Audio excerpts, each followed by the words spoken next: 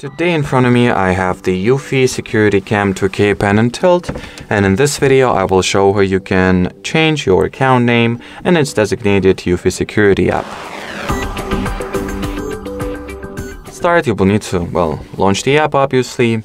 Here tap at these three lines, go into your account settings, nickname, and here just set up whatever nickname you would like to have. For example, I'll go with test nickname or nickname? Test. Ah, let it be test nickname. One. Then save the changes. And here you have it. The account name the profile name has been customized or adjusted successfully. So that'll be it for this video. Thanks for watching and bye bye